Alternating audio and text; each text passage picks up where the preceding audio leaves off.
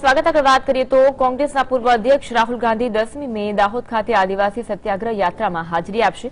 ત્યારે જિલ્લા પોલીસ વડા સહિત પોલીસ સ્ટાફ દ્વારા સ્થળ નિરીક્ષણ કરાયું હતું.